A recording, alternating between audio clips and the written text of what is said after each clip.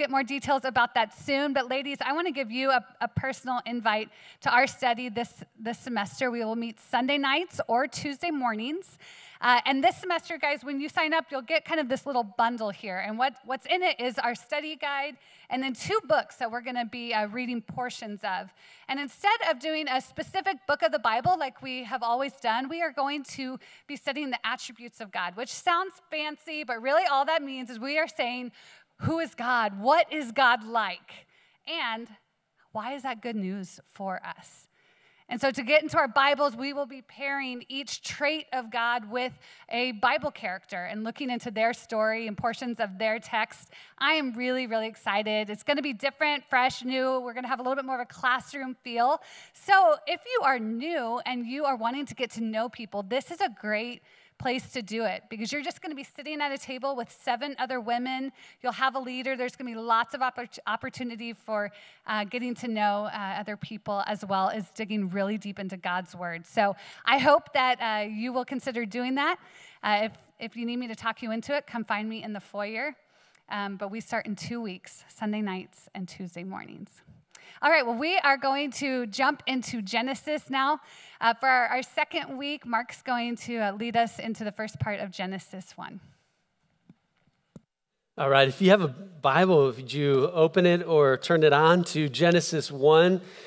We're going to be going on a journey through the Bible this year, starting here in Genesis, page one of the Bible. Genesis is fall, and Revelation uh, next semester in the spring semester. So we're Super excited about that. We are going to read the first 25 verses of uh, Genesis 1.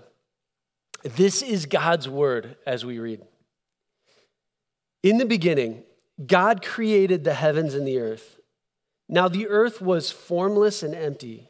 Darkness covered the surface of the watery depths, and the Spirit of God was hovering over the surface of the waters. Then God said, let there be light. And there was light. God saw that the light was good, and God separated the light from the darkness. God called the light day, and the darkness he called night. There was an evening, and there was a morning, one day. Then God said, Let there be an expanse between the waters, separating water from water.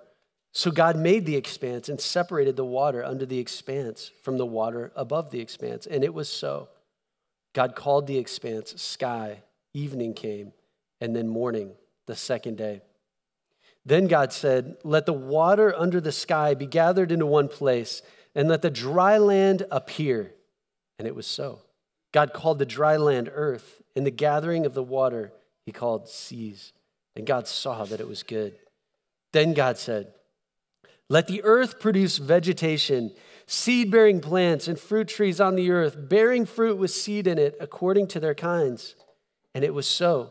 The earth produced vegetation, seed bearing plants according to their kinds, and trees bearing fruit with seed in it according to their kinds. And God saw that it was good. Evening came, and then morning, the third day.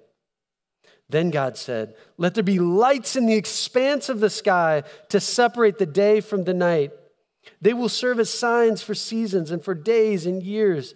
They will be lights in the expanse of the sky to provide light on the earth. And it was so. God made the two great lights the greater light to rule over the day, and the lesser light to rule over the night, as well as the stars.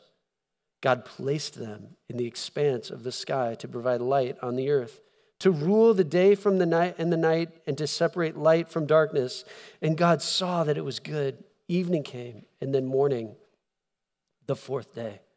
Then God said, Let the water swarm with living creatures, and let birds fly above the earth across the expanse of the sky. So God created the large sea creatures and every living creature that moves and swarms in the water, according to their kinds. He also created every winged creature according to its kind, and God saw that it was good. God blessed them. Be fruitful, multiply, and fill the waters of the seas, and let the birds multiply on the earth. Evening came, and then morning, the fifth day.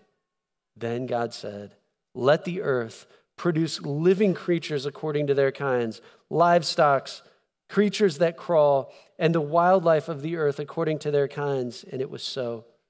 So God made the wildlife of the earth according to their kinds, the livestock according to their kinds, and all the creatures that crawl on the ground according to their kinds. And God saw that it was good. On April 12th, 1961, Yuri Gagarin, the Russian cosmonaut, became the first human to travel into space and orbit the Earth. Gagarin said in flight, I don't see any God up here. These words just hanging in the expanse of the cosmos. First human to see the glory of creation, unable to see God. What do you say to that?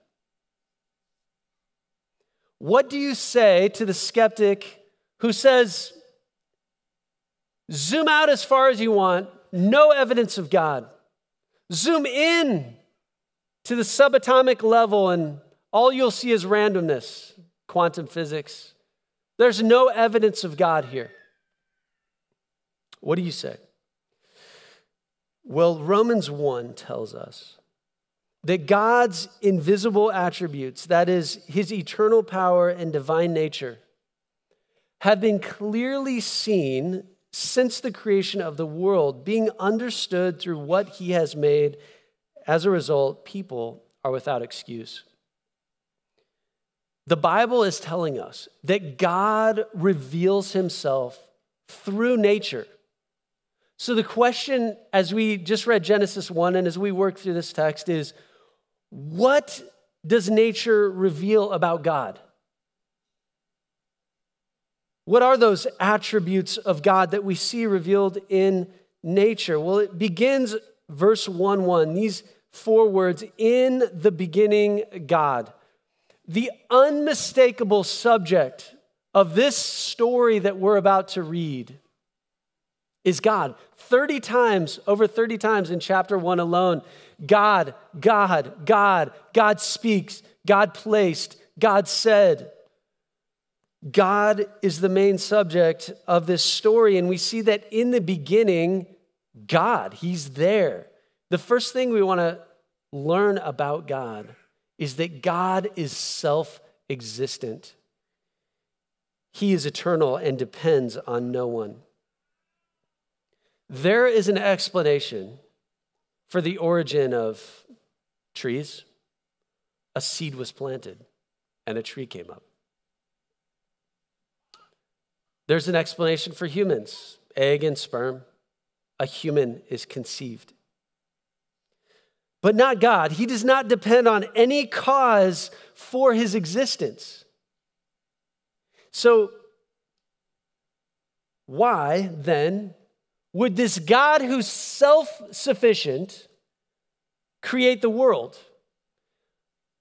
We'll get to that later, but there he is in the beginning, God. And the first verb that describes what God did was in the beginning, God, what? He created.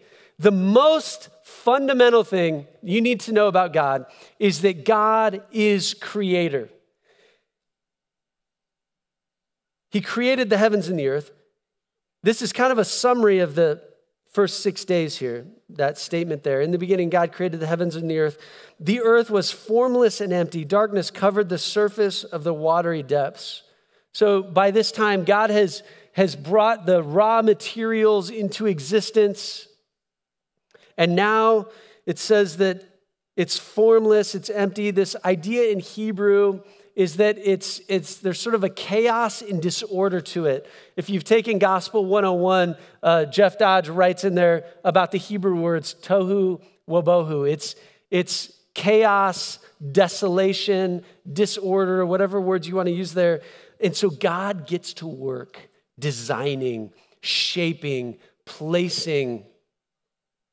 In verse 3, God said, Let there be light, and there was light. The second thing to know about God is that God is creator. He is the author and designer of everything. One of the most basic fundamental questions you can ask is how did we get here? Where did we come from? We've been asking this question from the beginning of time as humans, and this is in studying philosophy in college. This is what Aristotle said There must be an immortal, unchanging being, ultimately responsible for all wholeness and orderliness in the sensible world. That's over 2,300 years ago. What he observed, Aristotle observed, is that every effect has a cause. If the paper goes off the music stand here, you will know that there was a cause, right? It just didn't magically move. There was a, there was a hand that moved the paper, right? Every effect has a cause. And, or if I'm just standing here and the paper just falls off, you would assume there's wind that you couldn't see that pushed the paper. This is what Aristotle is saying, and he, he looks at the universe and he says, There must be a first cause. And he called this first cause the unmoved mover. Like everything's being moved by something that you can see or explain. There has to be something, a mover that's outside of all of this. And here we see in Genesis 1 let there be light. Let there be light. So behind this is God, the unmoved mover. Okay. So I have a light here. I'm going to say a command let there be light. And there was light. Look at my power that I have within me. And you're like, well, yeah, where does that light come from? And I'm like, this light comes from a battery in the phone. Like, yeah, I know. Where does that battery get its energy from? Well, I plugged it into that outlet over there and I charged my battery. So the power energy comes from that outlet. Well, where does that energy come from? Well, there's like a long wire. It's kind of almost like an extension cord uh, that goes like in like through the walls or maybe underground, and it goes to a little uh, room over there. There's a panel. That's where the power comes from. Like, well, where does that power come from? Well, there's another really long extension cord that kind of goes under the ground and over to a, a pole over there.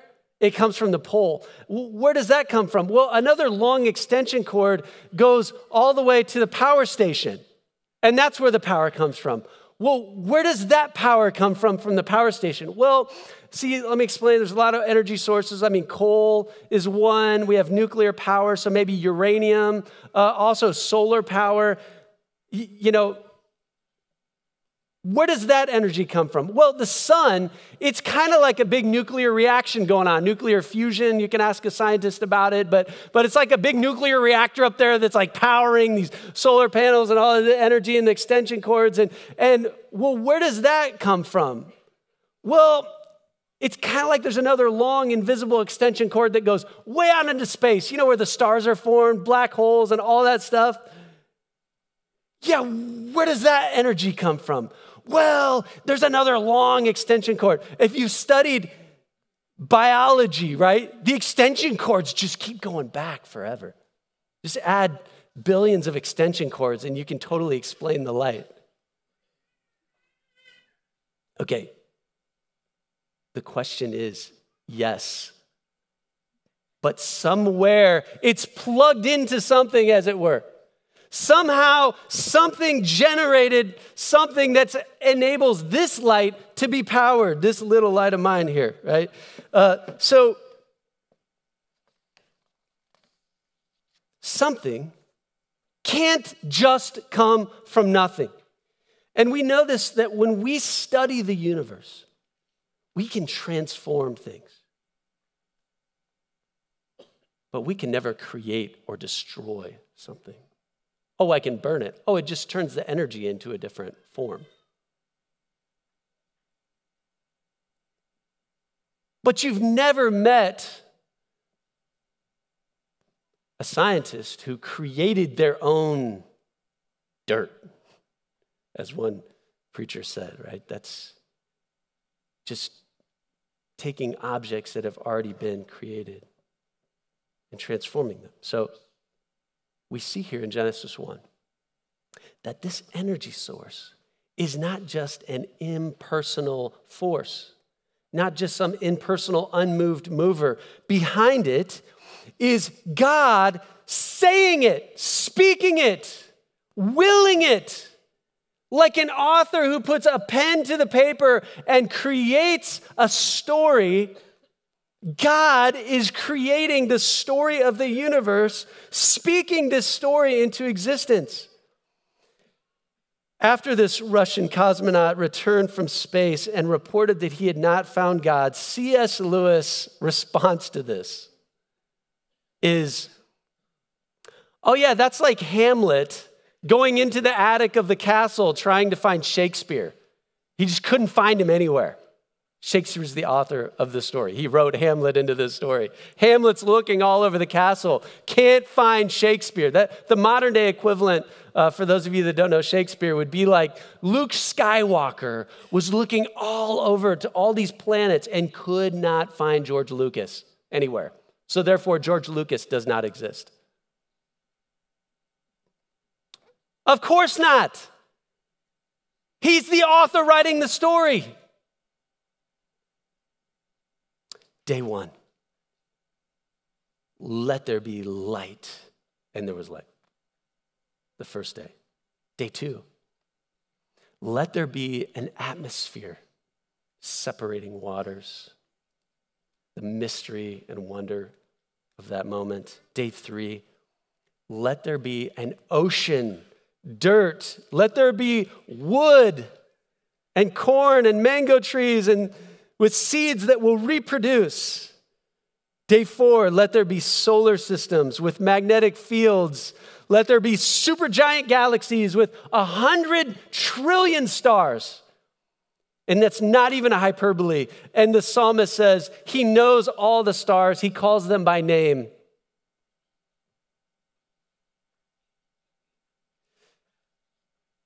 Day five fish and birds.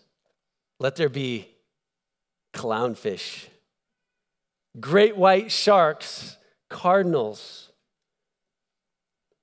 Google cool birds, and I found the rainbow lorikeet bird in this remote part of Indonesia. And I look at this bird and I'm like, that's not even real. It's like the colors, like fluorescent and beautiful colors that, that I, I've never seen before. Only in like a little kid's crayon set that you're like, I've never seen that in the natural world. This is just beautiful. God is speaking these beautiful animals into existence birds, day six, animals, wildlife. Let there be Tyrannosaurus rex and giraffes. Have you ever seen a giraffe run? It looks like it should be in like something in Avatar, the movie, like some other, it's like other world. This thing, as it, as it moves, like, what is that animal? Beautiful snow leopards, chickens. Think about chickens. These creatures are amazing. Have you ever thought about a chicken? The thing eats everything. Just put it in, it just eats stuff out of the dirt. And then you can use the poop for compost, like it's great fertilizer, right? Yeah, I said poop. I probably could have come up with a better word. It's just, I, I mean, this chicken is amazing. I've been all over the world and I'm in all of these things. I've been to Morocco, been to remote parts of the Darien jungle in Panama, been into the, the bush of Africa, and guess what? Chickens are everywhere.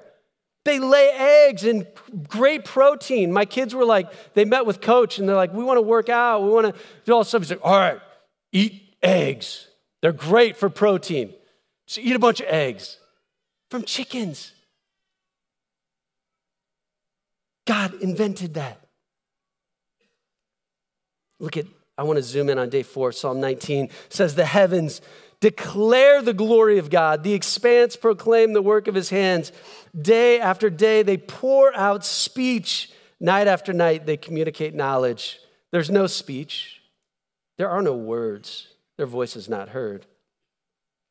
Yet their message has gone out to the whole earth and their words to the ends of the world.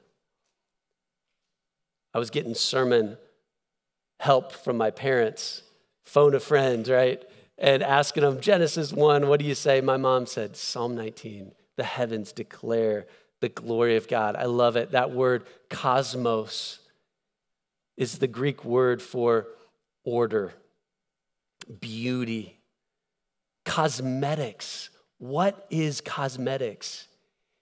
It's bringing order and beauty to this chaos of my face. That's what cosmetics is. Or what's cosmetology? It's bringing order and beauty from this mess of hair, right? It's, it's shaping, making order out of chaos. This is what God is doing with creation. The cosmos. It's beautiful, it's designed intricately, fine tuned. In 1990, the Hubble telescope was launched into orbit. Being outside of the distortion of Earth's atmosphere, it was able to capture these extremely high resolution images, allowing a deep view into space. And this famous 1995, this picture in 1995, it's called The Pillars of Creation. This is a vast star forming region 6,500 light years away from Earth. The pillars that you see are giving birth to stars. The height of those pillars are about five light years tall.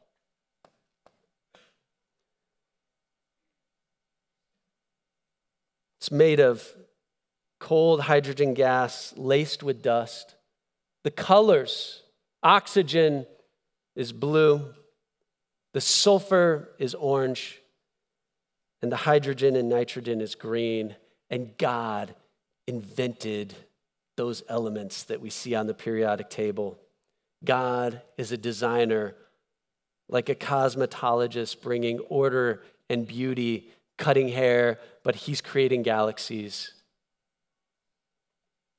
How did he do it? Proverbs 3 tells us the Lord founded the earth by wisdom and establish the heavens by understanding. Let me paraphrase that. God is really smart. That's how he did it. By his knowledge, the watery depths broke open and the clouds dripped with dew. I have a question for you. Do you delight in God's creation?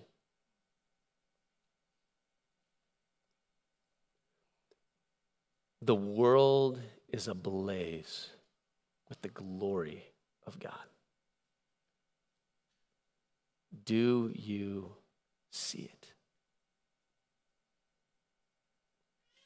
It's easy to miss the author. Here's how to do it keep looking down. Keep your earbuds in. Keep lots of noise running through your earbuds. Keep scrolling, keep swiping, and it's easy to miss God because you will almost never have to look up. Oh, and the stars. And it's kind of light pollution anyway, so don't, don't even bother looking up. You, you might see the Big Dipper, but that's about it. So just keep, keep scrolling, keep the noise. Watch, make sure you watch a lot of good, like just a lot of good binging on, on Netflix and stuff is great for missing God, right? Because because you just never have to no. If you get nothing out of this except this one encouragement, put down the electronics and take a walk and look around. And we are headed into fall. And creation is about to be on fire with the glory of God. We went on a walk yesterday to Kent Park, and we kind of took a couple of our kids, and they were kicking and screaming. They didn't want to go. And once we got there, they were fine, and they started exploring, and they started finding little frogs. And I'm walking, I'm like, look at this leaf. It's like pink. I've never seen this before. Look at this thorn bush. It's giving like these bright purple, this bright purple flower. And the closer you get and you see the intricacy and the design, and it brings glory to God. And it's so good for the soul. I want to encourage you, young people especially, to study mathematics. Don't doze off. Pay attention in math. Why? Because math is the language of nature. Science I hope we have some young scientists, curious people, because what is science but mapping out and tracing out the faithfulness of God to sustain the universe through laws of physics, biochemistry?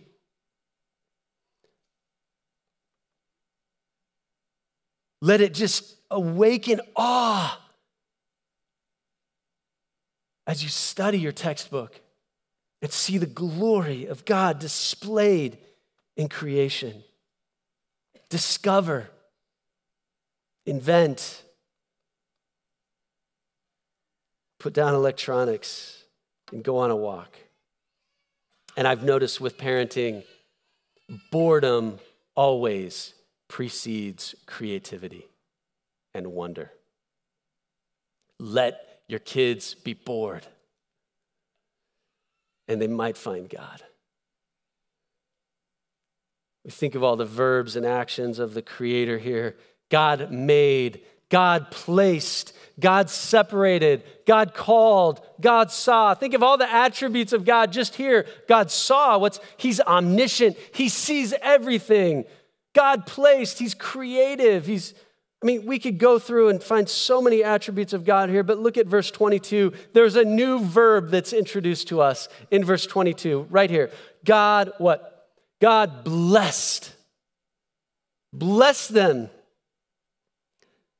Be fruitful, multiply, fill the waters of the seas, and let the birds multiply on the earth. Evening came, then morning, the fifth day, verse 24, and God saw that it was good. This Hebrew word bless means to give happiness, to praise. And God saw that it was good. There was a sense of pleasure and delight. God is smiling at this point as he looks at his own genius of creativity and says, Whoa, that's amazing. They're not going to discover this for like a few thousand years. But when they do, it's going to blow their minds. Wait till they find this galaxy way out here. And he's so happy. Verse, uh, the, sorry, the, the third thing that I want you to write down about God and what we learn revealed through nature is that God overflows with happiness. God created you to share his joy. Why would a self existent God make us? Doesn't need us. Why? I think this verb here in verse 22 gives a clue, and we'll talk more about this in the next couple weeks. But God blessed them.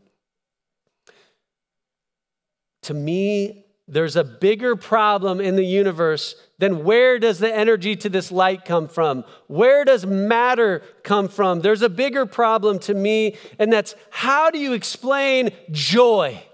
How do you explain love? Prove to me, scientifically prove to me that you love your spouse, or that you love your child, or that you love your parents. Prove that.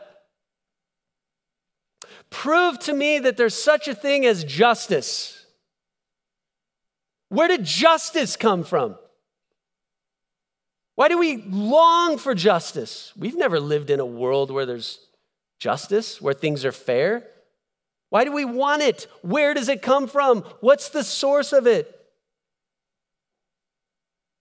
Why is there beauty? Why isn't everything just gray?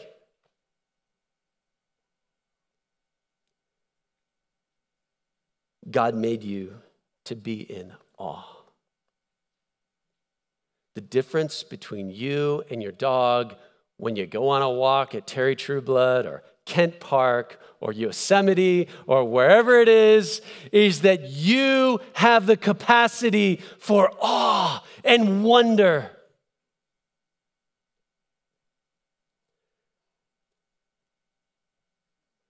C.S. Lewis, in reflecting on this idea of so, how would a character in the story know the author? The only way that would be possible, the only way that Hamlet could really know Shakespeare or Luke Skywalker could know George Lucas is if the author wrote themselves into the story. And that's exactly what God did. John chapter 1, verse 1. Here it is. In the beginning, do you see Genesis language here? In the beginning, God, well, John substitutes God for in the beginning was the Word. The Word was with God. The Word was God. He was with God in the beginning. All things were created through Him. Apart from Him, not one thing was created that has been created. In Him was life, and that life was the light of men. The Word became flesh, he says later, and dwelt among us. God wrote himself into the story. Jesus, Jesus is God. And life is generated through him. And we see him, he walks around, he touches a dead person, and they come to life. Remember the angels when Jesus rolled up onto the scene as a baby, they said, Joy to the world, the Lord has come. You have a soul and you are made for him. Do you know the author of the story this morning? Do you know the one who invented your life? Yuri Gagarin was flying a, his test, test plane, his jet, in March of 1968, and it crashed and he stepped into eternity and met his Maker, the God he never knew. But just a few months later, on Christmas Eve, December 24th, 1968, three American astronauts, Bill Anders, Jim Lovell, and Frank Borman, were the first humans to travel to the moon. And as one fourth of the world's entire population listened in and they saw this sight, this was the picture that they took from the moon, the earth rise. And as they orbited the moon, the three of them took turns reading Genesis 1 1 through 10. In the beginning, God created the heavens and the earth. Now the earth was formless and empty. Darkness covered the surface of the watery depths, and the Spirit of God was hovering over the surface of the waters. Then God said, Let there be light. And there was light. Let's pray together.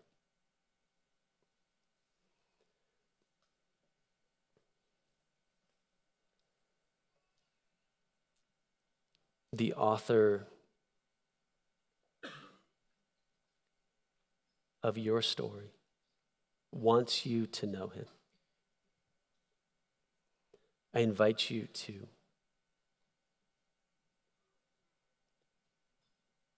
come this morning and just know that he's, he's drawing near to you through Christ, through the person of Jesus. He displayed his love not just with an abstract philosophy. He doesn't just shout down from heaven, I created you, I love you. No, he demonstrated his love. He died on a cross, and he's inviting you into his life, his resurrection. Let's worship him.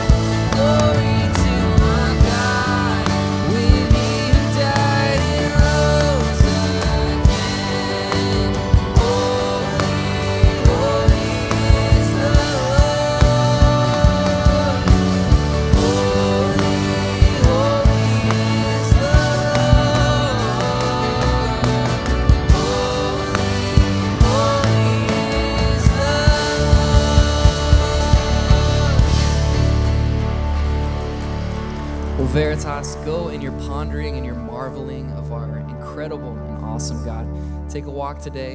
Enjoy the beautiful weather. We'll see you guys next week.